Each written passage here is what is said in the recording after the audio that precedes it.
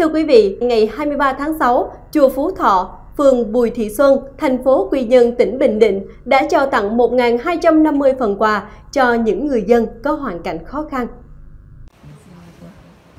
Buổi trao quà có sự chứng minh của Hòa Thượng Thích Trí Giác, chứng minh Ban trị sự Giáo hội Phật giáo Việt Nam thành phố Quy Nhơn, Hòa Thượng Thích Đồng Quả, trưởng Ban trị sự Giáo hội Phật giáo Việt Nam thành phố Quy Nhơn, Thượng tọa Thích Thị Tấn, Phó trưởng Ban chánh thư ký Ban trị sự thành phố Quy Nhơn, chủ trì chùa Phú Thọ, nhằm chia sẻ với những người dân có hoàn cảnh khó khăn bị ảnh hưởng bởi dịch Covid-19 tại địa phương và các vùng lân cận. Chùa Phú Thọ cùng với gia đình cố Phật tử Trần Duy Tính, trưởng ban hộ tự chùa Phú Thọ đã trao 1.250 phần quà với tổng trị giá hơn 250 triệu đồng cho bà con. Chương trình phát quà thực hiện đảm bảo nguyên tắc 5K của Bộ Y tế. Người đến nhận quà đều mang khẩu trang, rửa tay sát khuẩn và giãn cách, chia thời gian thành từng đợt đến nhận quà.